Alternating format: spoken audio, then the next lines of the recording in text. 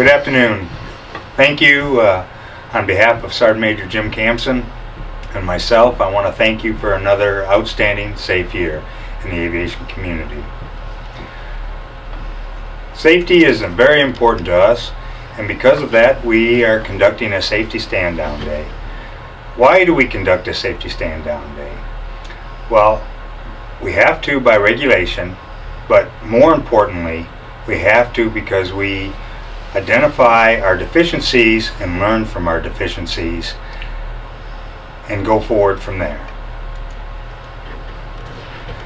The results of our safety and our safety day are phenomenal. Worldwide and domestic missions uh, without a fatality or significant at-fault accident. Truly a remarkable uh, mark considering the scope and breadth of the 34th CAB missions.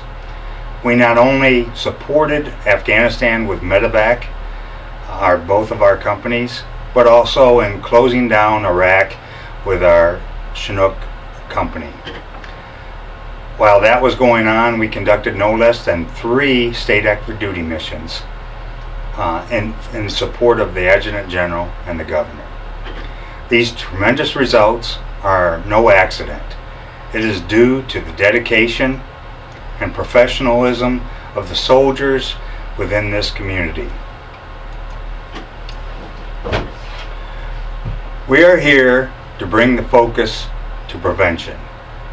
We want to eliminate preventable accidents because prevention saves lives and equipment. To review our results, our accidents, and our lessons learned, we want to learn from our mistakes and from the mistakes of others. And we want to incorporate our lessons learned into our culture. Remember that behavioral changes lead strong safety programs. I ask you that leaders at all levels need to be involved in safety. Strong organizations incorporate safety and loss prevention in all operations. Risk management. Remember that there are no new accidents, just new victims. Almost everything has already happened. The same causes are at the root of most accidents. Complacency, inattention, and a false sense of urgency.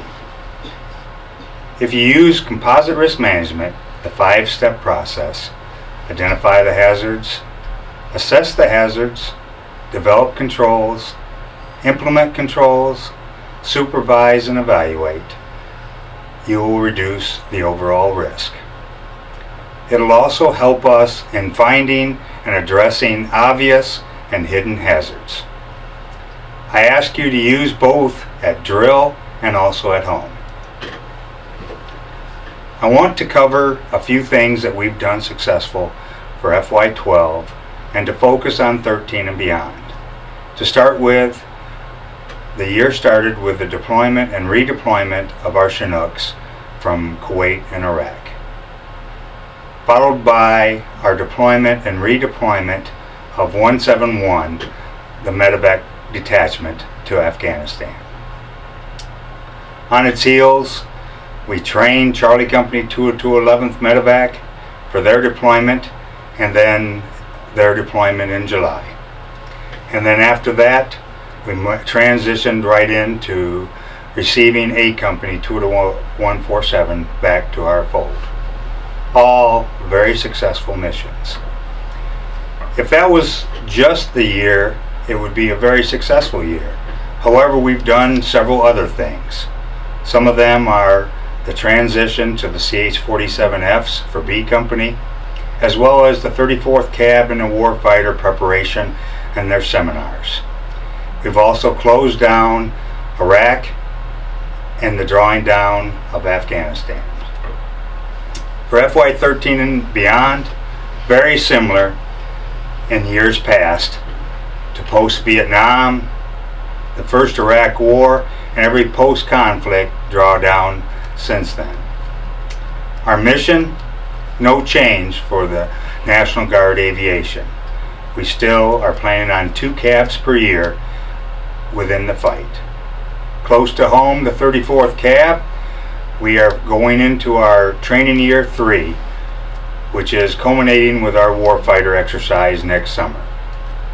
We are we have been identified as a contingency expeditionary force, which our focus will be on homeland defense, civil support, overseas exercises, and any global response that we are called upon.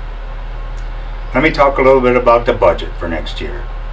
We have a strong year ahead of us. All signs point to a strong year in flying for this entire organization. However, having said that, the word sequestration is still out there. If this happens, no doubt we will change our plans and everybody will be identified. The 34th cab demographics are shifting. We have a lot of soldiers retiring. We're losing our experience. We have new air crew members any one given month, we have 12 to 15 students at Fort Rucker going through flight school. We have new airframes on the horizon, like the CH-47F that we'll receive this month, as well as uh, additional A to Ls and Mike model UH-60s in the near future. We also have new missions, such as Central and South America. I want to change the subject and talk about suicide. I want to talk to you that suicide is still a concern and a problem for us in the Minnesota National Guard. I want to say that we've been in your shoes. I feel your pain. I've lived it with my family personally. If you're having problems, especially during this holiday season, I want you to know that we care about you that there's organizations within our organization that can help you, whether it's financial or whether it's personal or relationships. The bottom line is we care about you and we want to help you. This is a huge family that we're in and I think it's important that we all know that we have our next line leaders phone numbers in there, some of our friends phone numbers in there if you ever get in a place where you feel you can't get out, always remember there is help. Most of the people know a way to get a hold of me, and I think most of the people know between me and the colonel, we both care for everybody in this organization, and we'll do anything we can to help. So please, before we ever get to that step, make sure we make the phone call. And always remember that the, the acronym ACE, ask the soldier if they're thinking about hurting themselves care for them enough and make sure we escort them to a proper care facility so they can get taken care of immediately. So where do we go from here? Our next step to ensure that the next year is as safe as this last. Leaders need to enforce the standards. We need to make sure that we do the by the book operations and follow established procedures, all SOPs and regulations. We need to demand consistency and focus this is a dangerous business that we're in, and we remember that the consequences of failure can be catastrophic. Do the right thing, right thing even when people are not looking. This also includes having battle buddies and enforcing those standards.